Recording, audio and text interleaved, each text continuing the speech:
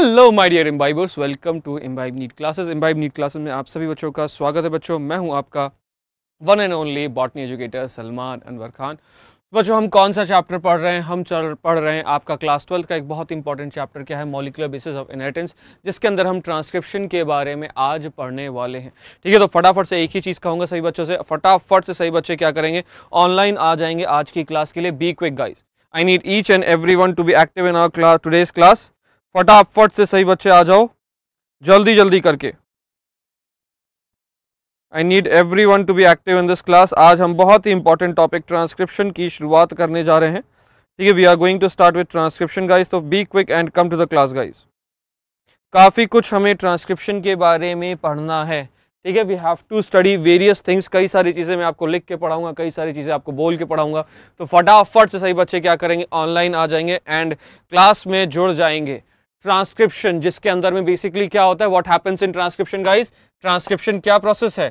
ये आपका क्या प्रोसेस होता है बच्चों? डीएनए से कॉपिंग का प्रोसेस है right it's a copying of DNA ठीक है, आपका डीएनए कॉपी हो रहा है किसके ऊपर?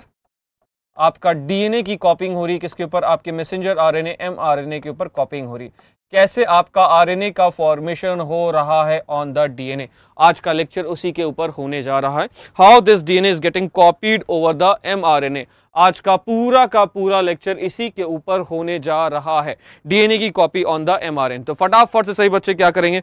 ऑनलाइन आ जाएँगे क्लास के लिए। Be quick guys I need every to be active on our today's class transcription एक बहुत ही इंपॉर्टेंट मैकेनिज्म है, इसके अंदर काफ़ी कुछ हम डिटेल डिस्क्रिप्शन पढ़ने वाले हैं। ठीक है will be discussing very various things अलग अलग चीज़ों के बारे में हम पढ़ेंगे तो फटाफट से सही बच्चे ऑनलाइन आ जाएँगे। ठीक है बी क्विक गाइज़ तो let me send a message in the Telegram group ताकि सही बच्चे आ जाएँ। बी क्विक एवरीवन फटाफट से सही बच्चों ऑनलाइन आ जाओ जल्दी जल्दी करके।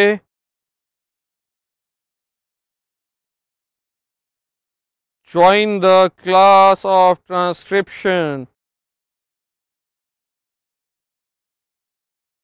बहुत ही इंपॉर्टेंट सेगमेंट हम पढ़ने जा रहे हैं। हेलो परी एंड एंड आपकी क्या है? Saumya. Hello Pari and Saumya. बाकी बच्चे कहाँ रह गए आज? आज बाकी बच्चे कहाँ हैं? काजल, नीलोफर एंड बाकी बच्चे, हमारे जो बच्चे आते हैं, वो कहाँ रह गए आज की क्लास में? ठीक है तो चलो लेट देम कम हम शुरुआत करते हैं अपने लेक्चर की। अब जो बच्चे मेरे बारे में नहीं जानते बच्चों, मेरा नाम है Salman Anwar Khan. I will be teaching you botany in this entire segment बच्चों, ठीक है? मैं आप सभी बच्चों को बॉटनी पढ़ाने वाला हूँ, ठीक है? मैं कई सालों से बॉटनी पढ़ा रहा हूँ, चाहे वो ऑनलाइन सेगमेंट हो, चाहे वो ऑफलाइन सेगमेंट हेलो ओम ठीक है? I be teaching you botany in this entire segment ठीक है?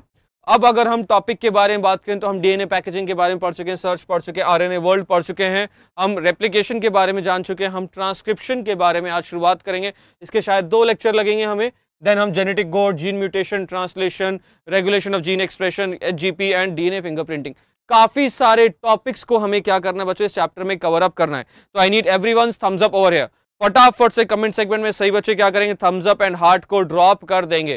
ठीक है? आप देख सकते हो अब तक 50 परसेंट भी ये चैप्टर कवर अप नहीं हुआ है अब तक। ठीक है? अब तक 50 परसेंट भी कवर अप नहीं हुआ है तो let's go at and start our today's lecture ठीक है? आज के लेक्चर की हम शुरुआत करते हैं। मॉलिकुलर बेसिस ऑफ़ इनहेरिटेंस के अंदर में हम ट्रांसक्रिप्शन पढ़ने जा रहे हैं। ठीक है तो लास्ट क्लास में बच्चों हमने रेप्लिकेशन के बारे में पढ़ा था अलग अलग एंजाइम्स के बारे में पढ़ा था। कौन कौन से एंजाइम होते हैं बच्चों? We have helicase enzyme we have S S B P enzyme we have topoisomerase enzyme we have DNA gyrase enzyme we have DNA ligase we have DNA polymerase as well as we have primase enzyme इन सारे enzymes के बारे में हमने पढ़ा था और हमने replication fork के बारे में जाना था. What is are replication fork leading strand Okazaki fragment lagging strand इन सारे स्टैंड्स के बारे में हमने पढ़ा था. आज की क्लास में क्या है? How RNA synthesis in cell ठीक है? How is RNA synthesized in cell कैसे आपका आरएनए का फॉर्मेशन होता है? तो आप देख सकते हो आरएनए कैसा होता है? आपका इस तरीके से सिंगल स्ट्रैंडेड फॉर्म में प्रेजेंट होता है। तो कैसे आपका आरएनए का फॉर्मेशन हमारी बॉडी में हो रहा है, उसी को हम समझने हैं। मतलब बेसिकली हमने जो स्टार्टिंग में लिखा था, वही चीज़ है इसमें कि कैसे आपका डीएनए डीएनए को क्या हो रहा है बच्चों? हम कॉपी कर रहे हैं किसके ऊपर? आरएनए के ऊपर कॉपी कर रहे हैं। कैसे हमारा डीएनए का क्या हो रहा है बच्चों? कॉपी हो रही है। ठीक है? डीएनए को कॉपी करके से, के कॉपी से क्या बन रहा है बच्चों? हमारा आरएनए कैसे बन रहा है? उसी के ऊपर आज का पूरा का पूरा लेक्चर बेसिक्स जानने में होगा। तो let's start with today's lecture transcription of RNA so transcription of RNA में जैसे मैंने आपको कहा तो इसमें अलग अलग स्टेप्स होते हैं। तो देखो, इस तरीके से आपका डीएनए मॉलिक्यूल है। डीएनए मॉलिक्यूल के ऊपर में आके क्या होता है बच्चों? इस तरीके से आपका आरएनए प्राइमर ये क्या है बच्चों? आपका आरएनए प्राइमर है, आके जुड़ेगा। और यही आरएनए प्राइमर क्या करता है बच्चों? इस आरएनए प्राइमर की वजह से आपका क्या होगा? ओपनिंग ऑफ़ द डीएनए आपका ये जो डीएनए का फोक है, ये क्या करेगा? ओपन अप होगा। और इस तरीके से बच्चों, आपका एक एमआरएनए का फॉर्मेशन होगा और आरएनए पॉलीमरेज एंजाइम अलग हो जाएगा। टाटा बाय बाय हो जाएगा। तो ट्रांसक्रिप्शन की अगर हम डेफिनेशन देखें तो ट्रांसक्रिप्शन क्या is the copying of genetic information from one strand of the DNA into mRNA ठीक है, इसमें हम क्या कर रहे हैं बच्चों? जेनेटिक इन्फॉर्मेशन को कॉपी कर रहे हैं एक स्टैंड से दूसरे स्टैंड पे। ठीक है, आपका डीएनए से कॉपी हो रहा है किसके ऊपर? आपका mRNA mRNA stands for messenger RNA ठीक है एमआरएनए स्टैंड्स फॉर क्या? एमआरएनए का फुल फॉर्म होता है बच्चों, आपका मैसेंजर आरएनए होता है। Governs by the principle of complementary complementary से गवर्न होता है मतलब अगर एडेनाइन है तो अपोजिट में क्या होगा? थाइमीन नहीं। यूरासिल होगा। Right we all know this adenine है तो अपोजिट में अगर एडेनाइन है तो इसके अपोजिट अगर डीएनए में एडेनाइन है, अगर इधर डीएनए है, अगर इधर डीएनए है तो एडेनाइन के अपोजिट क्या होना चाहिए? थाइमिन बट होता क्या है? यूरासिल होता है, क्योंकि thymine is been replaced by uracil ठीक है, और उसी तरीके से बच्चों लेट सपोज़ अगर डीएनए में क्या है? आपका गुआनीन है तो इधर ट्रिपल बॉन्ड किससे बनेगा आपका? साइटोसिन से। ठीक है एडनाइन क्या करता है? डबल बॉन्ड बनाता है थाइमिन से और गोनिन क्या करता है बच्चों? ट्रिपल बॉन्ड बनाता है किससे? साइटोसिन से क्या करता है बच्चों? आपका ट्रिपल बॉन्ड बनाता है। तो साइटोसिन आपके आरएनए में प्रेजेंट होता है, ठीक है? आरएनए में आपका साइटोसिन प्रेजेंट है, ठीक है? सो एक्सेप्ट द वो आपका यहाँ पे साफ़ साफ़ लिखा है एडनोसिन के साथ आपका एक्सेप्ट हो जाता है। वहाँ पे क्या हो जाएगा बच्चों? आपका यूरासिल प्रेजेंट होता है, ठीक है? In adenosine we have the presence of uracil only one of the strand is copied into mRNA ठीक है, सिर्फ़ और सिर्फ़ एक ही स्ट्रैंड क्या होता है? कॉपी होता है। कोई मुझे बताएगा कौन सा स्ट्रैंड होता है? टेम्पलेट या स्ट्रैंड या coding strand which strand is been copied दो स्ट्रैंड प्रेजेंट होते हैं, एक होता है टेम्पलेट एक होता है क्या? कोडिंग स्ट्रैंड टेम्पलेट का मतलब क्या होता है? टेम्पलेट को अगर हम हिंदी में देखें तो क्या होता है? मतलब मरतबा मतलब शेप जिससे डिसाइन होगा। कोई मुझे बताएगा किस स्ट्रैंड से कॉपी होता है?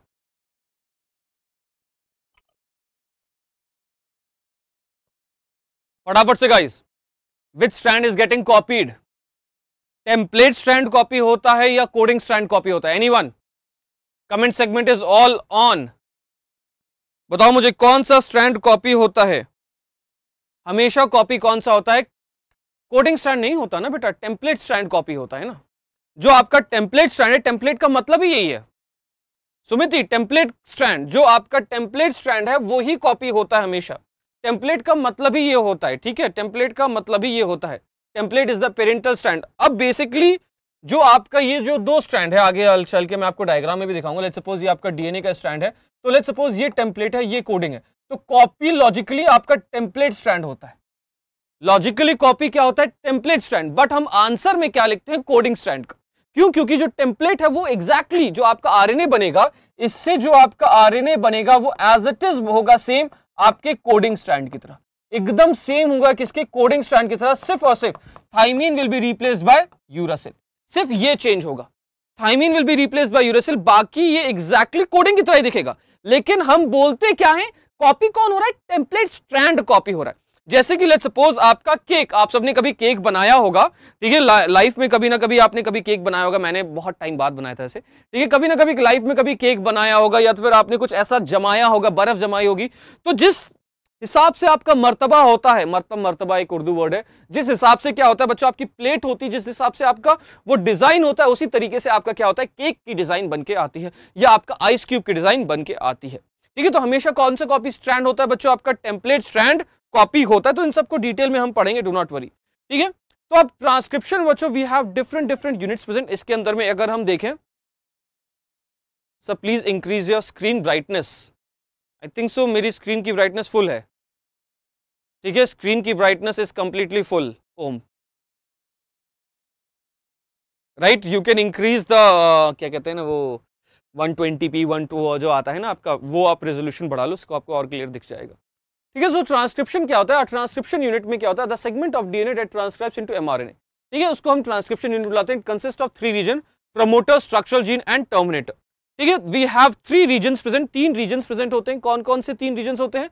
वी हैव प्रमोटर साइट हमारे पास क्या है? प्रमोटर साइट होता है बच्चों। हमारे पास क्या होता है? स्ट्रक्चरल जीन मतलब प्रमोटर और टर्मिनेट के बीच में टर्मिनेशन स्ट्रैंड के बीच में जितनी भी जगह है।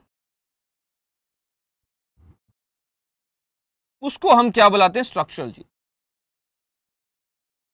उसको हम क्या बुलाते हैं गाइस स्ट्रक्चरल जीन बुलाते हैं। जैसे कि लेट सपोज़ अब उन्हें इसका एग्जांपल हम ले लेंगे। प्रमोटर स्टैंड क्या होता है बच्चे? It's the site where RNA polymerase is going to bind ठीक है? प्रमोटर साइट वो होता है आपका, जहाँ पे आपका आरएनए पॉलीमरेज आके बाइंड करता है। स्ट्रक्चरल जीन वो सेगमेंट होता है जिसको हम क्या करते हैं? कॉपी करते हैं। टर्मिनेटर साइट क्या होता है? वो आपका स्टैंड होता है। वो एरिया होता है जहाँ से आपका बाय बाय टाट होता है। वालेकुम अस्सलाम नीलोफर ठीक है? तो लेट सपोज़ मुझे ओम के घर जाना है। ठीक है? ओम कहाँ रहते हो? किस जगह पे रहते हो? बस शहर का नाम बता दो। शहर, गाँव, जहाँ पे भी रहते हो, बस एक जगह का नाम बता दो। Om come on this is a question for you कहाँ रहते हो? उसी से हम एक एग्ज़ाम्पल बनाएँगे अभी। उसी से हम एक एग्ज़ाम्पल बताएँगे। Come on. I need your answer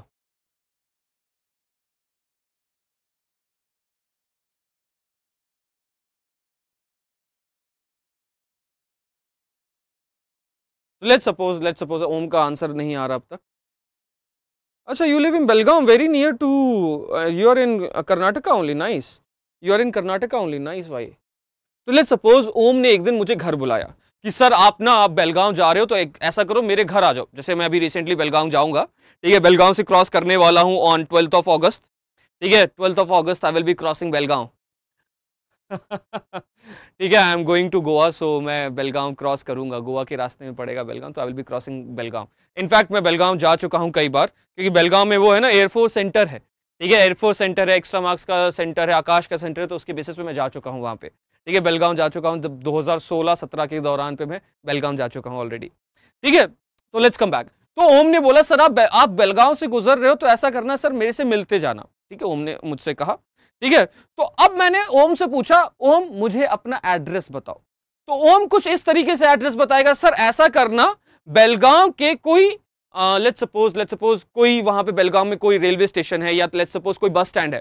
तो उसने मुझे ओम बताएगा, सर, आप ऐसा करना कि बेलगांव के आप रेलवे स्टेशन पे उतरिएगा। ठीक है, जैसे हम बेलगांव के रेलवे स्टेशन पे उतरेंगे और फिर क्या करिएगा, बारह नंबर वाली बस पकड़ लीजिएगा।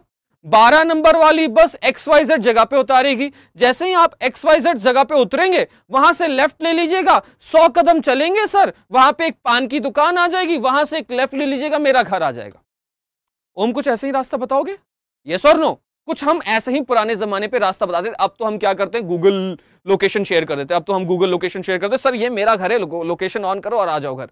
ठीक है? तो पुराने जमाने पे इसी तरीके से होता था। अच्छा बेलगांव मेट्रो स्टेशन, वो, बेल मेट्रो स्टेशन बोल रहा हूँ, बेलगांव रेलवे स्टेशन पे उतरो, वहाँ से एयरफोर्स के सेंटर पे चले जाओ, वहाँ से क्या करना एक पान की दुकान आएगी, बस मेरा नाम ले लेना, मेरा घर पहुँचा देंगे। तो उसी तरीके से ये जो प्रमोटर साइट है, ये ये जो आरएनए पॉलीमरेज है, आर एन ए पॉलीमरेज हूँ मैं। ठीक है, मैं कौन हूँ? ए पॉलीमरेज हूँ। ओम क्या है? आपका स्ट्रक्चरल जीन है, क्योंकि मुझे ओम से मिलने जाना है। तो ये जो पान की दुकान है, या फिर वो जो एरिया है, वो आपका प्रमोटर साइट है।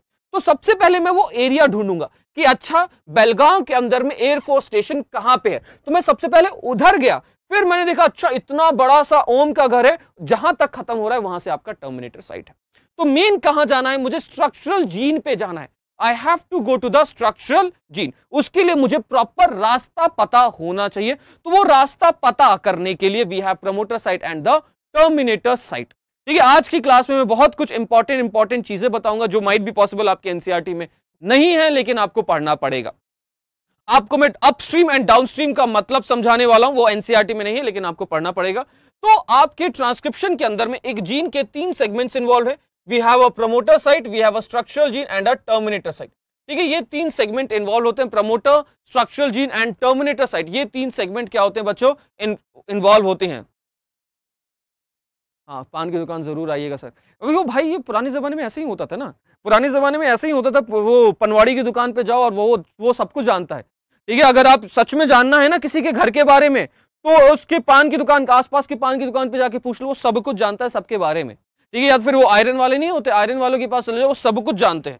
ठीक है? तो let start with the first region called as a promoter site ये क्या होता है? It is a DNA sequence that provides a binding site for RNA polymerase इसका मेन काम क्या है बच्चों? ये आपका क्या है? It's a site where RNA polymerase is going to join simple as that ये क्या है बच्चों? यस ठीक है, हमारे पास क्या होता है? ये आपकी साइट होती है जहाँ पे क्या होता है? आरएनए पॉलीमरेज आके बाइंड करता है located towards five dash strand upstream तो पहले मैं आपको अपस्ट्रीम और डाउनस्ट्रीम का मतलब समझाऊँगा। ठीक है अपस्ट्रीम एंड डाउनस्ट्रीम का मतलब समझाऊँगा। देखो, मैं राइटी हूँ बच्चों, में कई बार बता चुका हूँ। मैं राइटी हूँ, मैं राइट हैंड से लिखता हूँ। मेरा हाथ क्या है? अभी बोर्ड की तरफ़ है। जो भी मेरे राइट हैंड साइड पे आएगा, उसको हम क्या बुलाएँगे बच्चों? डाउनस्ट्रीम जो भी मेरे राइट हैंड साइड पे आएगा, उसको हम क्या बुलाएँगे? डाउनस्ट्रीम बुलाएँगे. मतलब टूवर्ड्स फाइव डैश ठीक है आपके जो भी मेरे राइट हैंड साइड पे आएगा, वो जो होगा बच्चों, उसको हम क्या बुलाएँगे? आपका हम डाउनस्ट्रीम बुलाते हैं. ठीक है डिनोटेड बाय प्लस सिंबल ठीक है डाउनस्ट्रीम बुलाते हैं डिनोटेड बाय प्लस सिंबल और जो भी मेरे लेफ़्ट हैंड साइड पे होगा, जो भी आपके प्रमोटर के लेफ़्ट हैंड साइड पे होगा, उसको हम क्या डिनोट करते हैं बच्चों? अपस्ट्रीम बोलते हैं। डिनोटेड बाय माइनस सिंबल इसको हम डिनोट करते हैं किससे प्लस सिंबल से डिनोट करते हैं। क्लियर है? अपस्ट्रीम डाउनस्ट्रीम क्लियर है तो बोलेंगे yes sir is upstream and downstream clear so yes sir upstream downstream clear है तो बोलेंगे, हाँ सर तो आपका डाउनस्ट्रीम कहाँ प्रेजेंट है? जो भी मेरे राइट साइड पे होगा, वो डाउनस्ट्रीम होगा, जो भी मेरे लेफ़्ट साइड पे होगा, वो क्या होगा बच्चों? अपस्ट्रीम होगा। ठीक है? अब ये क्या है बच्चों? द ये आपका क्या होता है? It is the site for providing the binding site ये आपको बाइंडिंग साइट प्रोवाइड करता है। मतलब ये आपको प्रोवाइड करेगा कहाँ पे जाके क्या करना है बच्चों? ये बाइंड होता है और इसका हमेशा, अगर हम प्रमोटर के बारे में बात करें प्रमोटर का जो सीक्वेंस होता है बच्चों the sequence of promoter is always conserve मतलब ये हमेशा फिक्स होगा। द सीक्वेंस हमेशा कैसा होता है बच्चों? कंजर्व्ड होता है। Right the sequence is always conserve मतलब the sequence is always fixed ठीक है? जैसे कि मैंने बोला, ओम का घर बेलगाम में है तो मतलब मुझे बेलगाम ही जाना है। ठीक है? बेलगाम में है, ये यहाँ यहाँ यहाँ जाना है तो वो फिक्स होता है। ठीक है? वो फिक्स होता है। तो अब अगर मैं प्रो कैरियर्स और यू कैरियर्स में देखूँ प्रो कैरियर्स में ये प्रेजेंट होता है माइनस टेन पोजिशन पे। प्रो कैरियर्स के अंदर में बच्चों इन प्रो कैरियर्स बहुत इंपॉर्टेंट और थोड़ा सा आउट ऑफ़ द बॉक्स बताने वाला हूँ। ये आपको हायर लेवल की बुक्स में मिल जाएगा जो आपकी नीट की होती हैं, लेकिन आपके एनसीईआरटी में नहीं है इतना डिटेल में जो मैं पढ़ाने जा रहा हूँ।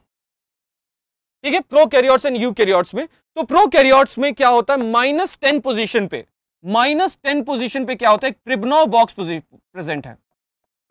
माइनस टेन पोजिशन पे, ठीक है, आपके माइनस टेन पोजिशन पे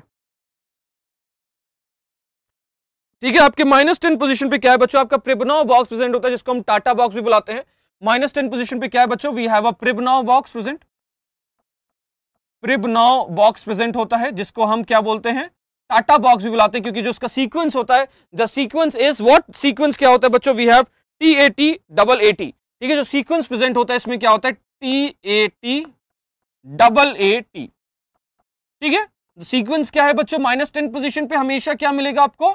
ये प्रिबनाव बॉक्स मिलेगा, ठीक है? और उसके आगे क्या मिलता है? रिकॉग्निशन साइट होती है माइनस थर्टी फाइव पोजिशन पे T T G A C A minus thirty five position पे बच्चों माइनस थर्टी फाइव पोजिशन पे आपका रिकॉग्निशन साइट है। आपका रिकॉग्निशन आपका साइट है T T G A C A ठीक है माइनस थर्टी फाइव पोजिशन पे टी टी है और उसी तरीके से इनके अंदर में क्या होता है? माइनस ट्वेंटी पोजिशन पे हॉगनेस बॉक्स है। यू कैरियर्स में क्या है बच्चों? माइनस ट्वेंटी पोजिशन पे क्या है? They have Hogness box minus twenty position पे क्या है बच्चों? इनके पास हॉगनेस बॉक्स प्रेजेंट है।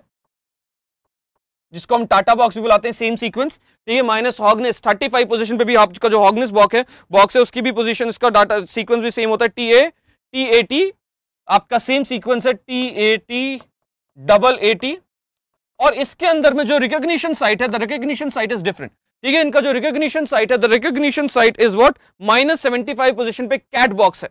माइनस सेवेंटी फाइव पोजिशन पे क्या है? कैट बॉक्स है। अब इस माइनस पोजिशन को समझेंगे। अच्छे से समझेंगे, उसी एग्ज़ाम्पल लेंगे जो अभी हमने एग्ज़ाम्पल लिया था। एग्ज़ाम्पल किसका था? ओम का घर था। ठीक है तो लेट सपोज़ ये आपका डीएनए का सीक्वेंस है। ये आपका डीएनए का सीक्वेंस है। मुझे जाना कहा है? यहाँ पे जाना है। ओम का घर कहाँ पे है? मैं कलर चेंज कर लेता हूँ। मुझे जाना कहा है? इस वाले जहाँ के जाना है, यहाँ पे है ओम का घर। ठीक है, ओम कहाँ रहता है? यहाँ पे रहता है ओम। अब मैंने क्या कहा? ओम ने मुझे क्या बुलाया? सर, आप ऐसा करिए, आप रेलवे स्टेशन पे उतर जाइए। रेलवे स्टेशन से ये वाली बस पकड़िए और ये वाली बस मेरे घर पहुंचाएगी। तो उसी तरीके से आपका आरएनए पॉलीमरेज सबसे पहले क्या ढूंढेगा? Minus thirty five. सबसे पहले वो क्या ढूंढेगा? टीटीजीए सीए ढूंढेगा। सबसे पहले वो क्या ढूंढेगा? इस तरीके से टीटीजीए सीए ढूंढेगा। जैसे ही उसको टीटीजीए सीए मिल जाएगा, जैसे ही हमारे आरएनए पॉलीमरेज को टीटीजीए सीए मिल जाएगा, ये क्या करेगा? स्टार्ट कैलकुलेट करेगा किसका? 35 पोजीशन को कैलकुलेट करे। कैसे? One, two, three, four, five, six, blah blah blah blah blah, यहाँ तक 35 पोजीशन को कैलकुलेट करा। ठीक है? आज मुझे लग रहा हूँ कि घर ही पहुँच जाऊँगा। ठीक है तो हम क्या करेंगे? हम टीटीजीएसीए के बाद हम क्या करेंगे? 35 पोजीशन कैलकुलेट किए। जैसे ही हम 35 पोजीशन कैलकुलेट करेंगे, हमें इस तरीके से टाटा बॉक्स मिलेगा। हमें कौन सा सीक्वेंस मिलेगा? टी ए टी ए वाला। तो लेट सपोज़ यहाँ तक आपका है। फिर हमने T A T A sequence देखा यहाँ पे। ठीक है, हमें टाटा सीक्वेंस मिला। और फिर टाटा सीक्वेंस के बाद हम क्या करेंगे? दस पोजिशन कैलकुलेट करेंगे। कैसे? One, two, three, four, five, six, seven, eight, nine, ten. और हमें पता है दसवीं पोजीशन के बाद आपका क्या है? प्रमोटर साइट शुरू होता है। दसवीं पोजीशन के बाद क्या है बच्चों? आपका प्रमोटर साइट क्या होता है बच्चों? शुरू होता है। तो हमने सबसे पहले क्या पकड़ा? माइनस थर्टी फाइव पोजिशन पे क्या देखा हमने? माइनस थर्टी फाइव पोजिशन से इस तरफ़ क्या देखा हमने? आपका रिकग्निशन साइट देखा और फिर क्या देखा हमने? टाटा बॉक्स देखा। और फिर जाके हमें फाइनली क्या मिला? आपको घर मिला। Same goes with in eukaryotes eukaryotes में हम सबसे पहले कैट बॉक्स देखेंगे। हम कैट बॉक्स देखेंगे। सबसे पहले हम कैट बॉक्स को देखेंगे। जैसे ही हम कैट बॉक्स देख लेंगे, हम क्या करेंगे? स्टार्ट कैलकुलेट करेंगे किसको? 75 सीक्वेंस को कैलकुलेट करेंगे। जैसे ही हम 75 सीक्वेंस को कैलकुलेट कर लेंगे तो हमारे पास क्या सीक्वेंस होना चाहिए? T A T A T A A T ये वाला सीक्वेंस प्रेजेंट होना चाहिए। और फिर उसके बाद दस पोजिशन के बाद क्या शुरू हो जाएगा? आपका प्रमोटर साइट शुरू हो जाएगा। तो इस तरीके से बच्चों आपका ये प्रमोटर साइट इस तरीके से बच्चों आपका आरएनए पॉलीमरेज काउंट करता है। तो सबसे पहले वो क्या ढूंढेगा? रिकग्निशन साइट को ढूंढेगा, फिर वो क्या ढूंढेगा? आपके हॉगनेस बॉक्स या प्रिबनाव बॉक्स को ढूंढेगा और फिर वो जाके प्रमोटर साइट पे जुड़ता है।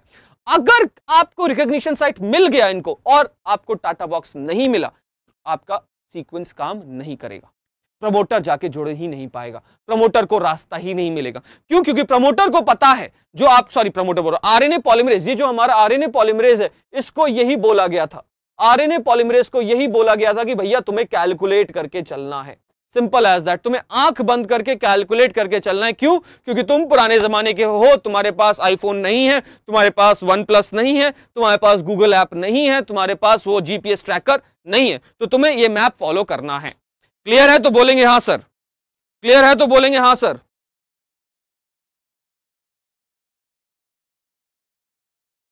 क्लियर है तो बोलेंगे हाँ सर फटाफट से guys if it is clear से यस सर एवरीवन अगर क्लियर है तो यस सर बोलेंगे. फटाफट से I have a sip of water फटाफट से बोलेंगे यस सर क्विकली गाइज़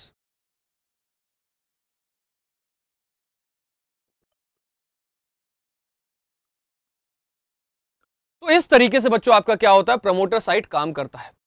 ठीक है? Like this the promoter site is going to work इसी तरीके से बच्चों, हमेशा आपका प्रमोटर साइट क्या करता है? बच्चों, काम करता है। क्लियर है? प्लीज़ ये लिख लो आप लोग। ये आपको कहीं नहीं मिलेगा। Please make sure to write it down please make sure to write it down guys please make sure to write it down it's very much important ये आपको याद करना पड़ेगा आपके नीट सिलेबस में। ठीक है? This is on your NEET syllabus. You have to remember it ठीक है? Good, Saumya, Sumati and Om. आगे बढ़े। तो ये होता है बच्चों आपका प्रमोटर के बारे में। प्रमोटर के बाद आता है कि आपका स्ट्रक्चरल जीन आता है। ठीक है प्रमोटर के बाद क्या आता है बच्चों? We have the structural gene present ठीक है स्ट्रक्चरल जीन आता है बच्चों। स्ट्रक्चरल जीन क्या है? ये वो साइट है जिसको हमें कॉपी करना है। ठीक है, ये क्या है? स्ट्रक्चरल जीन हमारे क्लास के लिए ओम का घर है। स्ट्रक्चरल जीन क्या है? हमारे क्लास के लिए ओम का घर है। हम फाइनली ओम के घर पहुँच चुके हैं। और ओम के घर में आया क्यों हूँ? ओम की शिकायत करने। सी माई डेविल स्माइल ठीक है मैं आया हूँ ओम के घर किसके लिए? ओम की शिकायत नहीं यार मज़ाक कर रहा हूँ। ठीक है तो हम फाइनली अपने डेस्टिनेशन पे पहुँच गए। हमारा डेस्टिनेशन क्या है? स्ट्रक्चरल जीन होता है हमारा डेस्टिनेशन सो so, ये क्या है बच्चों? These are the genes which is going to code for protein and RNAs ये कोड करता है किसके लिए? प्रोटीन एंड आरएनएस के लिए होता है एक्सेप्ट फॉर रेगुलेटरी फैक्टर्स ठीक है enzymes and structural genes are among the products enzymes होते हैं स्ट्रक्चरल जीन्स होते हैं। Also in codes non coding RNAs like tRNA and R उसके बारे में बात करेंगे, उसका ज़िक्र होगा आज की क्लास में डोंट वरी ठीक है in prokaryotes related functional structure genes are typical present next to ठीक है, ये काफ़ी इतना। क्लियर है? अब आप देख सकते हो बच्चों, हमेशा ऊपर की तरफ़ three dash two five dash वाला स्टैंड कौन सा था टेम्पलेट स्टैंड होता है। Five dash two three dash वाला स्टैंड क्या होता है? कोडिंग स्टैंड होता है। Please remember this please remember this always remember this हमेशा three dash two five dash वाला कौन सा होता है बच्चे? आपका हमेशा three dash two five dash वाला कौन सा होता है? टेम्पलेट स्टैंड होता है। और आपका five dash two three dash वाला क्या होता है? कोडिंग स्टैंड तो इसके ऊपर हम पूरा डेडिकेटेड वो भी है तो हम पढ़ लेंगे। फिर आता है क्या? टर्मिनेटर साइड टर्मिनेटर साइड वो साइड होता है जहाँ पे क्या होता है? सब कुछ एंड होता है। मतलब वहाँ पे जाके आपका घर की समाप्ति है। So the last region of the transcription unit found of end at the three dash end आपके थ्री डैश एंड पे मिलेगा, और downstream of the coding stand मतलब ये डाउन स्ट्रीम मतलब माइनस पोजिशन पे मिलता है right marks the conclusion of the transcription process ये आपका कंक्लूजन मार्क करता है तो we all know this about the terminator stand अब हम बात करते हैं टेम्पलेट स्टैंड की, जो कि बहुत ही इंपॉर्टेंट है। टेम्पलेट स्टैंड वो स्टैंड होता है, जिसको हम क्या करते हैं? कॉपी करते हैं। रिमेंबर दिस वेरी क्लियरली फिर मैं इसका हैक भी बताऊँगा। टेम्पलेट स्टैंड को हम हमेशा क्या करते हैं बच्चों? हम हमेशा कॉपी करते हैं। एक क्वेश्चन लिखूँगा यार मैं। एक क्वेश्चन लिखूं मैं आप लोग के लिए? ठीक है? एक मिनट के लिए सिर्फ़ मुझे सिर्फ़ बोर्ड को स्क्रीन पे दिखा सकते हैं? सिर्फ़ वो क्वेश्चन फिर मैं लिखता हूँ। ठीक है I want I will write a question for you guys ठीक है, एक क्वेश्चन लिखना है बच्चों। क्वेश्चन मैं लिख रहा हूँ आपके लिए। Please make sure to solve this question तो मेरे पास एक सीक्वेंस है बच्चों। ये है आपका three dash two five dash sequence इसी से मिलता जुलता क्वेश्चन 2018 में पूछा गया था। सीक्वेंस क्या है? A T G C T A T A T G C T A T और नीचे क्या आता है बच्चे आपका? We have five dash two three dash end ठीक है, इसके अंदर में क्या है? T A C G A T A ठीक है? वापस आ जाए। ठीक है? इस तरीके से बच्चों, आपका सीक्वेंस है। You can see the sequence अब आपको बताना है, इसके एमआरएनए का क्या सीक्वेंस होगा। You have to tell me what will be the sequence of mRNA अगर ये इसका कोडिंग स्टैंड का सीक्वेंस है तो मतलब ये अगर सीक्वेंस है डीएनए का इस तरीके का क्वेश्चन बच्चों नीट में आ चुका है। आपको मैं प्रीवियस ईयर क्वेश्चन पेपर में दिखा दूँगा। यही सेम क्वेश्चन मैं कई सालों से करा रहा हूँ और इसी सेम तरीके का क्वेश्चन आया था तो बच्चे बोले, सर, आपकी कॉपी से क्वेश्चन पेपर बनाए। हाँ भाई टीचर लोग इतनी मेहनत से पढ़ाते हैं तो ऐसा लगता है बच्चों को। अब आप बताओ, इसका एमआरएनए सीक्वेंस क्या होगा? या इसका आरएनए सीक्वेंस क्या होगा? Comment segment is all yours guys comment sequence is all yours ये क्वेश्चन है बच्चों आपके सामने। डीएनए स्ट्रैंड का सीक्वेंस ये है। डीएनए स्ट्रैंड का सीक्वेंस क्या है? A T G C T A T उसके अपोजिट क्या? एडेनाइन के अपोजिट हमेशा थाइमिन होता है। थाइमिन के अपोजिट एडेनाइन होता है। ग्वानिन के अपोजिट साइटोसिन साइटोसिन के अपोजिट ग्वानिन है। थाइमिन के अपोजिट एडेनाइन है। एडेनाइन के अपोजिट थाइमिन है। थाइमिन के अपोजिट एडेनाइन है। अब आप बताओ इसका एमआरएनए का क्या सीक्वेंस होगा? Go ahead and answer guys go ahead and answer guys मैं बता रहा हूँ, इस क्वेश्चन को बहुत सारे बच्चे गलत करके आ गए थे। ऐसा ही मिलता जुलता क्वेश्चन आपके 2018 में पूछा गया था। ये नीट 2018 में ऐसा ही क्वेश्चन पूछा गया था। 80 या 90 परसेंट सिमिलर था ये क्वेश्चन। आंसर में बेटे ने जो हमारी सुमिति ने आंसर दिया है, सर आंसर है U T C G A U A. Okay? Others also Prateek Mohanty answer करेंगे, ओम आंसर करेंगे, सौम्य आंसर करेंगी, नीलोफर आंसर करेंगे। बाकी जितने भी बच्चे बैठे हैं, इतने सारे बच्चे हैं, वो लोग क्यों बैठे हो भाई? सुमिति, आंसर आ गया आपका। आप आंसर पे फोकस करो। आपने दो आंसर दिया, प्लीज़ एक ही आंसर दो मुझे। मुझे एक ही आंसर चाहिए आपसे। U A C G A U A good Prateek. नीचे वाला आंसर ले लेते हैं, चलो। ओम का आंसर है U A C G A, U बाकी लोग, बाकी अदर्स भी। Others also please make sure to answer others also please make sure to answer this question सिर्फ़ दो तीन बच्चे नहीं है, यहाँ पे और भी बहुत बच्चे हैं। तो वैसे जो ओम ने दिया है और सुमिति ने दिया है एंड आपके प्रतीक ने दिया है, आपका आंसर सही है। ठीक है, देखो, हमेशा इसकी, करने की एक निंजा टेक्निक है। आपको इतना टाइम लगेगा ही नहीं। आपको इतना टाइम लगना ही नहीं था। ये क्या है बच्चे? आपको ऊपर वाला टेम्पलेट स्टैंड होता है जो कि मैंने आपको बताया था हमेशा। इसका सीक्वेंस क्या होता है? Three dash two five dash आपका हमेशा क्या होता है बच्चों? ये हमेशा स्ट्रक्चरल जीन होता है। Good U A U A U नहीं होगा यू ए सी होगा बेटा। U A C G U A U A yes good answer नहीं, गलत है बेटा आपका। ए से स्टार्ट ही नहीं होगा। ए से स्टार्ट नहीं होगा बेटा। देखो, हमेशा टॉप पे क्या होता है? आपका टेम्पलेट स्टैंड होता है और नीचे क्या होता है? कोडिंग स्टैंड होता है। हमने क्या बोला? हमेशा कॉपी किसको करते हैं हम? टेम्पलेट स्टैंड को। ठीक है, हमेशा कॉपी कौन सा स्टैंड होता है? हमेशा कॉपी होता है टेम्पलेट स्टैंड बट नेचर ने तो इसकी ऑलरेडी कॉपी बना रखी है ना बेटा? नेचर ने तो इसकी ऑलरेडी कॉपी बना रखी है कोडिंग स्टैंड के फॉर्म में। नेचर ने तो इसकी ऑलरेडी कॉपी बना रखी है। आपका आंसर ऑलरेडी बोर्ड पे लिखा हुआ है। बस आपको क्या करना जो सुमिति ने बोला थाइमीन को रिप्लेस कर देना यूरोसिल से। तो एज इट इज़ आपको नीचे का सीक्वेंस लिखना है। बस उसको टी की जगह पे यू लिखना है बस।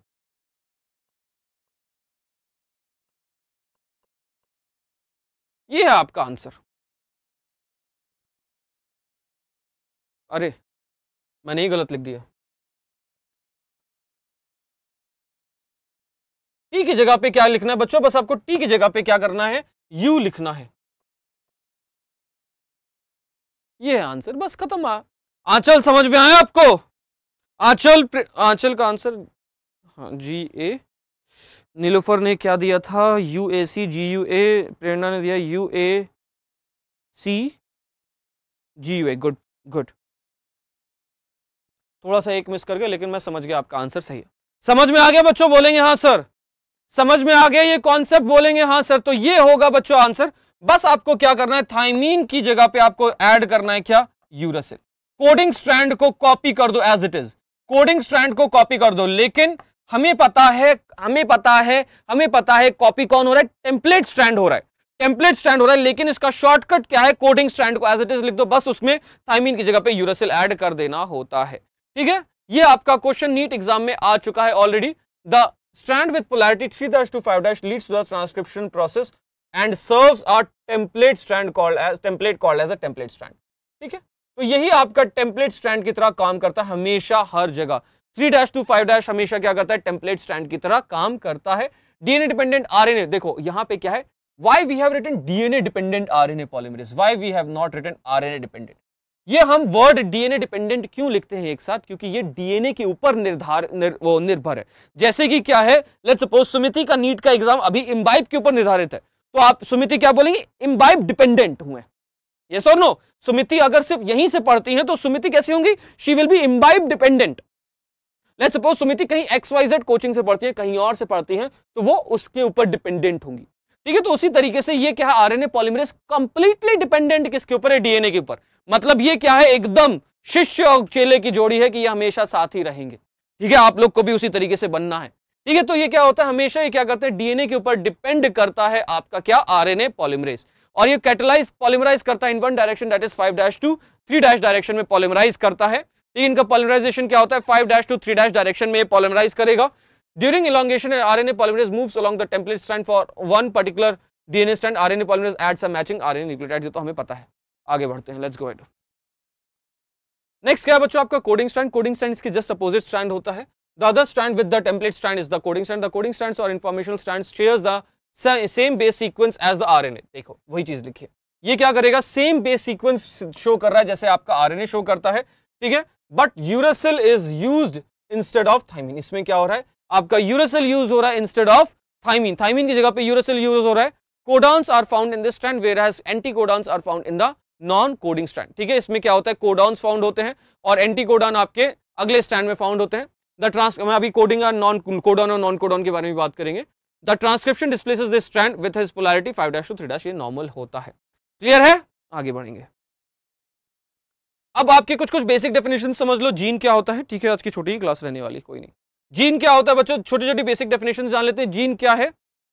तो what is the gene gene क्या होता है बच्चों? It's the functional unit of inheritance gene क्या? It's the functional unit of inheritance it's located in the DNA ठीक it serves as the blueprint for the synthesis of protein ये क्या करता है बच्चों? एक ब्लूप्रिंट की तरह काम करता है for the synthesis of protein codes for M RNA molecule as well as few hundred DNA present होते हैं, आगे बढ़ेंगे। नेक्स्ट क्या है बच्चों? इसके अंदर में अब साइट्स आते हैं सिस्ट्रॉन साइट ठीक है, कुछ हम बेसिक डेफिनेशन समझेंगे cistron a section of DNA that performs the role of transcription unit जो पूरा का पूरा सेक्शन है, उसको हम क्या बुलाते हैं? सिस्ट्रॉन ठीक है तो एक पूरे के पूरे सेगमेंट को हम क्या बुला रहे हैं? सिस्ट्रॉन है। It may codes RNA molecule enzyme और structural protein it is categorised as monocistronic in most of the eukaryotes तो मोनोसिस्ट्रॉनिक मतलब एक आपका सिस्ट्रॉन प्रेजेंट है आपके यूकैरियोट्स के अंदर में। Polycistronic in most of the bacterias और prokaryotes monocistronic mRNA has one structural gene that encodes a single polypeptide तो मोनोसिस्टोनिक एक के लिए पूरा कर रहा है, ठीक है? With transcription unit there is a distinct promoter polycistronic mRNA और mRNA that encode several protein एक ही के अंदर में सेवरल प्रोटीन के लिए कोडिंग कर रहे हैं। अब हम जानेंगे बच्चों एक्सॉन और एंट्रॉन के बारे में। तो हमेशा आपके डीएनए में क्या होता है बच्चों? Exon intron exon intron exon intron के फॉर्म में प्रेजेंट है।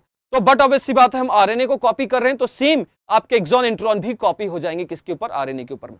ठीक है तो जैसे आपके डीएनए पे कॉपी है, उसी तरीके से आरएनए के ऊपर भी आपके एक्सॉन एंट्रॉन के फॉर्म में ये कॉपी होते हैं। द एक्सप्रेस्ड और coding sequence that can be found in the mature और प्रोसेस्ड आरएनए ये जो एक्सप्रेस्ड सीक्वेंस होते हैं, उसको हम क्या बुला रहे हैं? एक्सॉन बुला रहे हैं। Any region of a gene that will be included in the gene's final mature RNA product after introns have been excised during the ठीक है तो हम किसको हटाते हैं बच्चों? We are going to remove what हम किसको हटाते हैं बच्चों? We are going to remove the introns ठीक है एक्सॉन्स क्या होते हैं बच्चों? आपके प्रोटीन के लिए कोड करते हैं। ठीक है these exons are going to do what these exons are going to code for protein ये कोड करेंगे किसके लिए बच्चों? हमेशा प्रोटीन के लिए कोड करते हैं। ठीक है this is going to code always for protein ठीक है, ये आपके क्या होते हैं? यूजफुल स्ट्रैंड होते हैं। ठीक है, ये कैसे होते हैं? यूजफुल स्ट्रैंड है, यही मेन स्ट्रैंड है। ठीक है, यही आपके यूजफुल स्ट्रैंड है। हम क्या करते हैं बच्चों?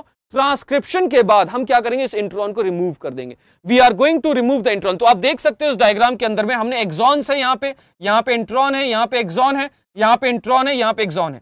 अब ये एमआरएनए है, इस एमआरएनए को हम क्या बुलाते हैं? एच आपको दिख रहा है H N right this is what you called is heterogeneous nuclear RNA मतलब जो आपका डीएनए से जो कॉपी हो रहा है डीएनए से जो कॉपी हो रहा है, वो एग्जैक्टली एमआरएनए नहीं है।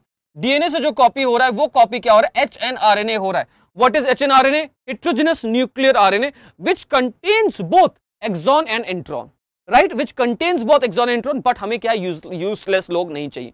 हमें क्या चाहिए होता है? हमेशा यूजफुल लोग चाहिए होता है तो हम क्या करते हैं? इंट्रॉन्स को रिमूव कर देते हैं by the post transcriptional modification H N के बाद क्या आता है बच्चों? आपका पोस्ट ट्रांसक्रिप्शनल मॉडिफिकेशन उसके ऊपर मैं लेक्चर लूँगा डोंट वरी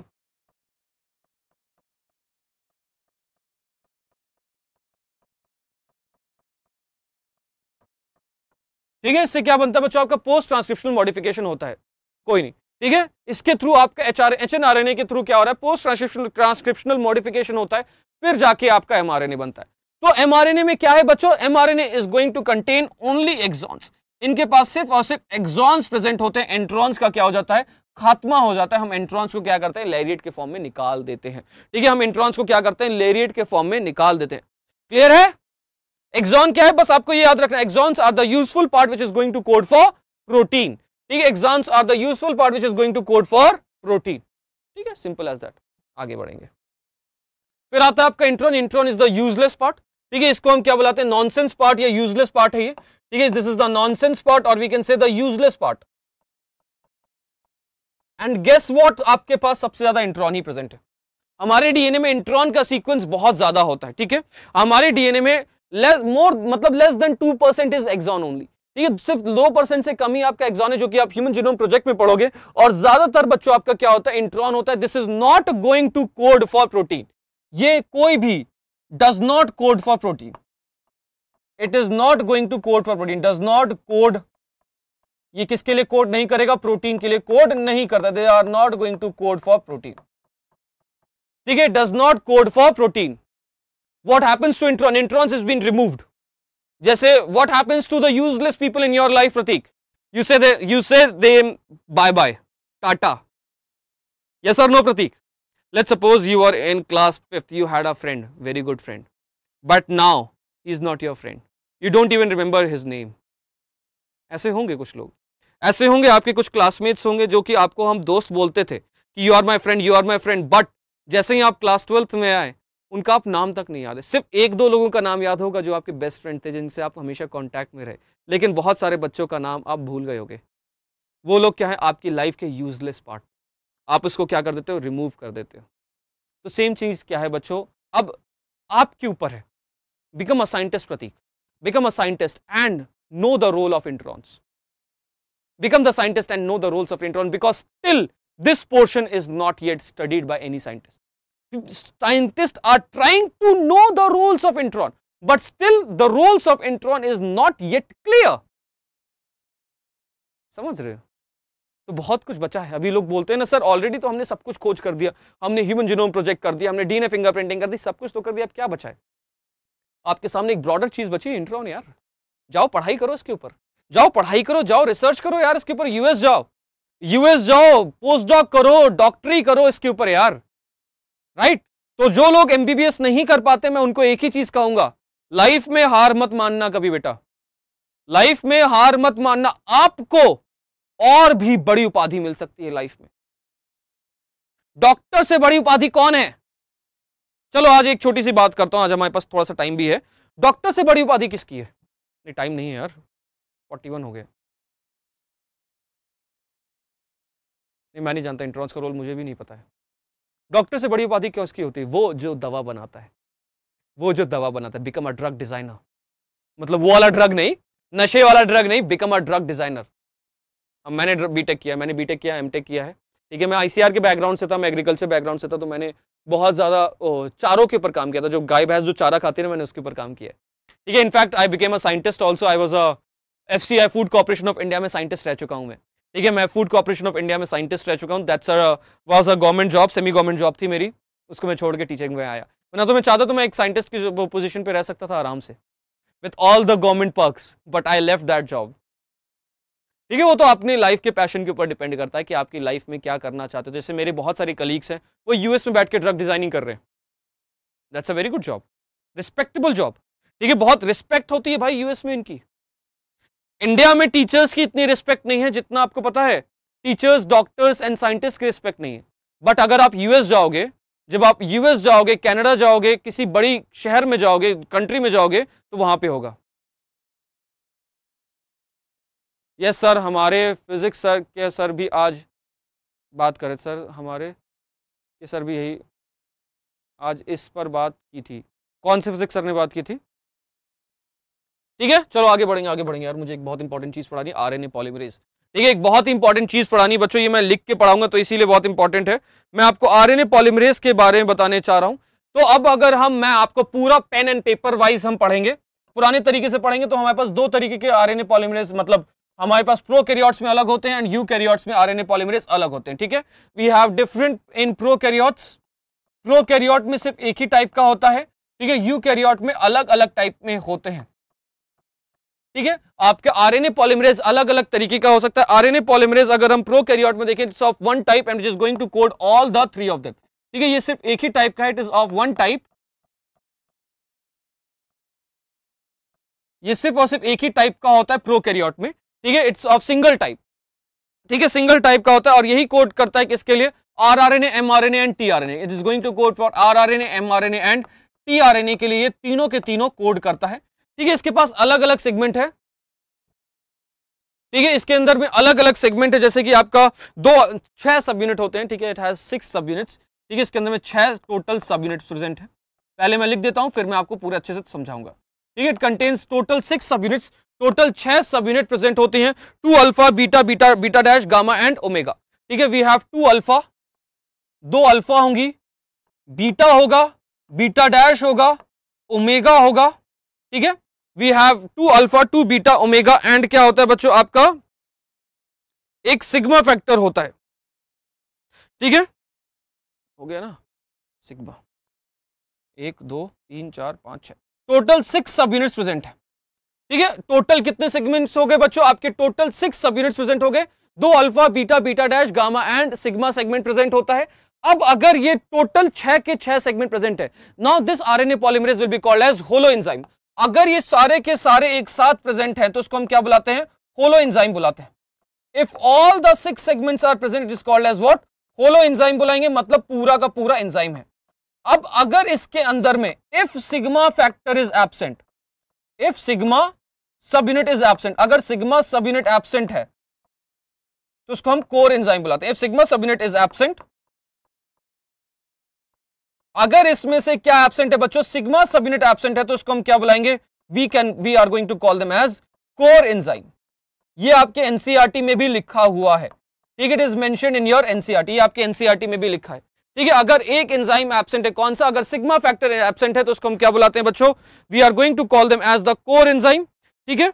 इसको हम क्या बुलाते हैं? कोर एंजाइम बुलाते हैं। और अगर हम यू कैरियर्स में जाएँ तो आपके होते हैं तीन तरीके के होते हैं। In eukaryotes we have three types of RNA polymerase तीन तरीके के हैं। वी हैव थ्री टाइप्स कौन कौन से RNA pol one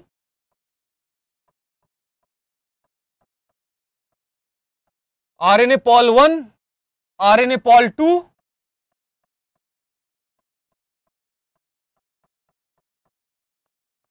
RNA pol one RNA pol two and RNA pol three ये आपके एनसीआरटी में लिखा हुआ है please make sure to remember ठीक है, तीन सब यूनिट्स प्रेजेंट होते हैं, इसके अंदर में तीन टाइप के होते हैं RNA pol one RNA pol two and RNA pol three ये आपका किसमें प्रेजेंट है? न्यूक्लियोलस में प्रेजेंट होता है आरएनए पॉल वन ठीक है RNA pol one is present in nucleolus और ये बाकी दोनों न्यूक्लियोप्लाज्म में प्रेजेंट है। आरएनए पॉल वन किसमें प्रेजेंट है? बच्चों, आपके न्यूक्लियोलस में प्रेजेंट होता है।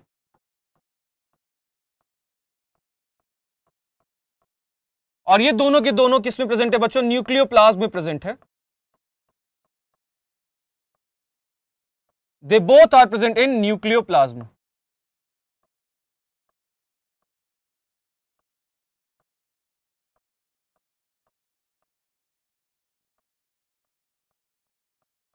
ठीक है ये दोनों किसमें प्रेजेंट होते हैं बच्चों they are going to present in nucleoplasm RNA pol one आपके न्यूक्लियस में प्रेजेंट होता है अब ये जो आरएनए पॉल वन है ये कोड करता है आर आरएनए के लिए ठीक है और आपका न्यूक्लियोप्लाज्म एच एन आरएनए के लिए और ये आपका टी आरएनए के लिए कोड करता है ठीक है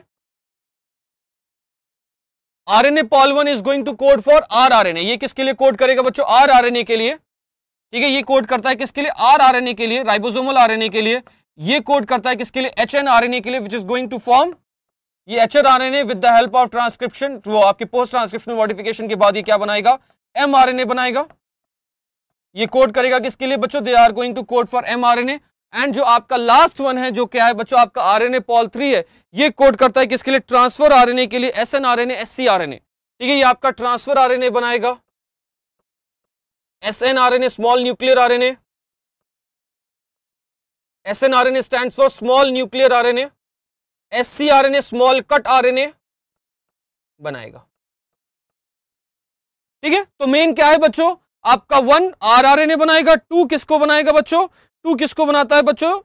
ये टू बनाता है किसको? आपका एम आर एन ए बनाएगा और थ्री किसको बनाता है? आपका T R N A simple as that ठीक है? ये आप लोग please make sure to write it down in your copy please everyone make sure to write it down in your copy guys फटाफट से सही बच्चे, इसको कॉपी में लिख लेंगे, बहुत इंपॉर्टेंट है ये। तो प्रो कैरियर्स में सिर्फ़ और सिर्फ़ एक ही किस्म का होता है, जिसको हम क्या कहते हैं बच्चों, आपका अगर इसके अंदर में छह सब यूनिट प्रेजेंट होती है, जो कि आपका R R N M R N N T R N A बनाता है, दो अल्फ़ा दो अल्फ़ा एक बीटा एक बीटा डैश एक ओमेगा और एक क्या है सिग्मा अगर ये सारे के सारे प्रेजेंट है, अगर ये सारे के सारे एक साथ प्रेजेंट है तो उसको हम क्या बुलाएँगे? होलो एंजाइम बुलाएँगे। अगर इसमें से कोई भी मतलब अगर सिग्मा फैक्टर एबसेंट है तो इसको हम क्या बुलाते हैं? कोर एंजाइम और वहीं पे यू कैरियर्स में ये तीन अलग अलग टाइप के होते हैं। RNA pol one RNA pol two and RNA pol three RNA pol one कहाँ प्रेजेंट है? आपके न्यूक्लियस में प्रेजेंट है। बाकी दोनों न्यूक्लियोप्लाज्म में प्रेजेंट है। पॉल वन आर आरएनए बनाएगा पॉल टू एम आरएनए बनाएगा एंड पॉल थ्री आपका टी आरएनए बनाता है। हो गया भैया क्लियर आगे बढ़ा जाए। हो गया क्लियर चलो क्वेश्चंस करते हैं। Connect the bubble guys connect the different ranges of the transcription unit to function there they perform promoter site क्या करता है स्ट्रक्चरल जीन क्या करता है टर्मिनेटर क्या करता है कमान कनेक्ट करके बताओ मुझे Aditya you are again late for the class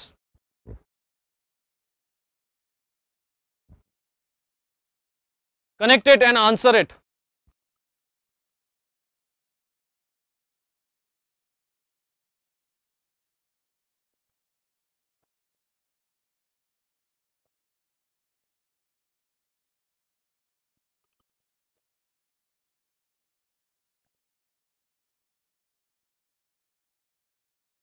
answer करेंगे सभी बच्चे।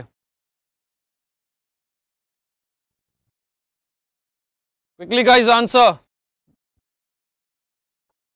Pratik Mohanty well done Pratik.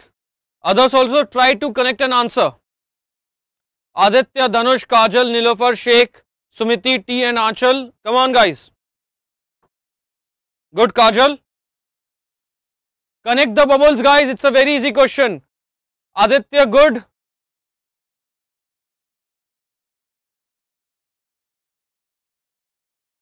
beak we can connect guys very good guys we have two more here very good pari and achal sheikh sahab your answer is wrong arpita your answer is wrong still nilofar sumiti and tanya zinu hi tanya zinu फटाफट से Sumiti and T answer करेंगे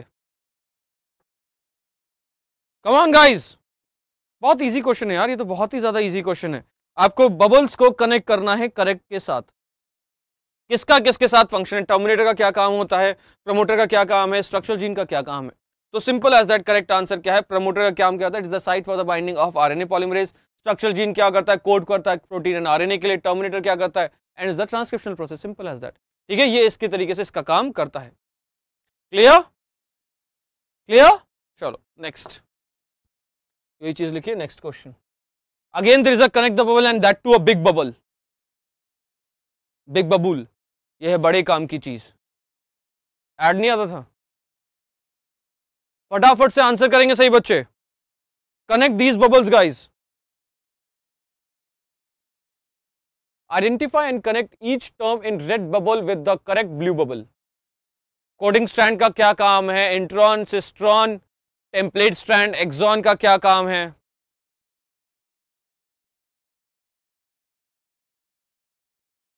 You are going to take time in this come on guys थोड़ा सा समय लगेगा, लेकिन हो जाएगा।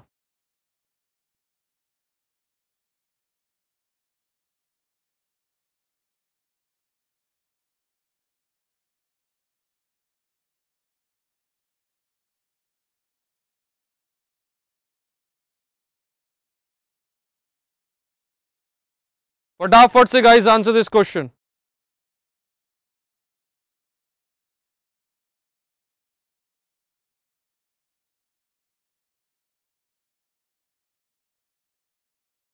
everyone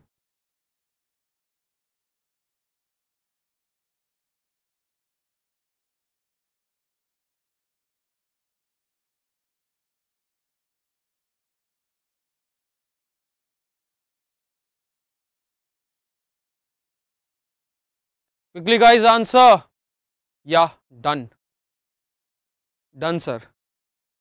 Nilofer, your answer is correct. Prati, uh, Pari, Pratik, Arpita, your answer is wrong. Your answer is wrong. Correct answer क्या है मैं बता ही देता हूँ। एक्सॉन क्या करता है? आपका कोडिंग सीक्वेंस इंट्रॉन क्या है? Absent in mature mRNA cistron क्या है? It's transcriptional unit template stand क्या करता है? इन कोड्स हाँ कनेक्शन ज़्यादा बड़ा हो गया ये। कोई नहीं ये ज़्यादा बड़ा हो गया इसीलिए कनेक्शन में प्रॉब्लम हो रही है आपको। तो ये क्या है बच्चों? आपका इसी तरीके से आपका आरएनए पॉलीमरेज एंजाइम प्रेजेंट होता है ठीक है? इस तरीके से बच्चों आपका एक आरएनए पॉल एंजाइम प्रेजेंट होता है ठीक है? Next question the promoter in DNA is a protein कोई नहीं, Kajal. The promoter in DNA is a protein true और फॉल्स ये एक प्रोटीन है, सही या गलत? फटाफट से बताएँगे।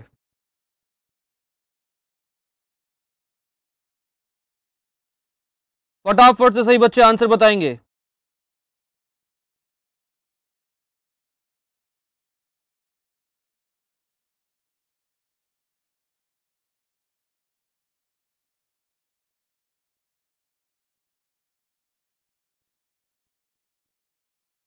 Quickly guys go ahead and answer क्या होगा the promoter in DNA is protein true और false very good Pratik Anchal Kajal your answer is wrong Aditya Sheikh साहब आदित्य बाकी लोग भी आपका आंसर का it's a part of genome it's false it's not a part of protein ये आपका it's not a protein ना, वो तो आपका डीएनए का सीक्वेंस है. वो तो आपका एक डीएनए का सीक्वेंस है ना प्रोटीन का सीक्वेंस थोड़ा ना है. It's a part of genome but it's not a part of protein ना. प्रोटीन तो आपका सिर्फ़ स्ट्रक्चरल जीन बनाएगा ना, बाकी प्रमोटर थोड़ा ना बनाएगा। बाकी थोड़ा ना बनाएगा। Next the coding stand has the polarity of coding stand की क्या पोलैरिटी होती है? What is the polarity of coding stand guys answer करेंगे फटाफट से।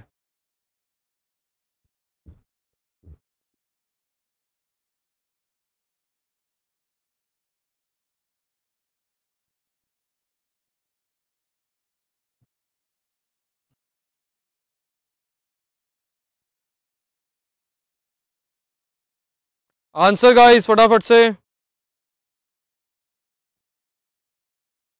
चले आंसर की तरफ़। Seeing hints and answering very good good Kajal, Pratik, Anchal, Sumiti your answer is wrong Nilofar Pari Sheikh Arpita as well as Om your answer is wrong Aditya, Dhanush has not answered correct answer is five dash to three dash ठीक है? आपका coding stand की polarity हमेशा five dash to three dash होती है। Template stand की polarity क्या होती है? Three dash to five dash होती है। तो बस आज की क्लास को हम यहीं पर समाप्त करेंगे बच्चों। We will finish our today's class and please make sure to join my my next class मेरी नेक्स्ट क्लास कहाँ पे है बच्चों? अगर हम नेक्स्ट क्लास पे जाएँ जाएँ जाएँ इम्बाइव लाइव क्लासेस पे जाना है बच्चों, आपको मेरी यहाँ पे नेक्स्ट लाइव क्लास दिख जाएगी। जैसे अभी क्लास चल रही है, सिर्फ़ फोर्टी टू बच्चे आए, बाकी लोग कहाँ हो? ठीक है, मुझे ये समझ नहीं आता। बाकी नेक्स्ट क्लास किसकी? मॉर्फोलॉजी में। तो जितने भी बच्चे हैं सेम प्लीज़ फटाफट से सात बजे वाली क्लास में जुड़ जाओ। ठीक है, आपको क्या करना है, इस तरीके से जाके ज्वाइन क्लास पे कर लूँगा तो अभी मैं डेजावू हो जाएगा। ठीक है, इस तरीके से बोर्ड खुल के आ जाता है। तो चार मिनट 28 सेकंड बाद आपकी क्लास शुरू होगी। तो अभी मैं जस्ट जाके इसको टेलीग्राम पे शेयर करने वाला हूँ। यहीं से शेयर बटन दबा के टेलीग्राम पे शेयर करूँगा। So please go ahead and join my class ठीक है टेलीग्राम चैनल है क्या इम्बाइब अचीव नीट तो फटाफट से सभी बच्चे इम्बाइब अचीव नीट पे पहुँच जाएँगे टेलीग्राम चैनल पे। ठीक है बच्चों तो चलो बच्चों, आज की क्लास को यहीं पर समाप्त करते हैं। मैं हूँ आपका biology educator Salman Anwar Khan. Then, keep imbibing Keep imbibing. We believe in you.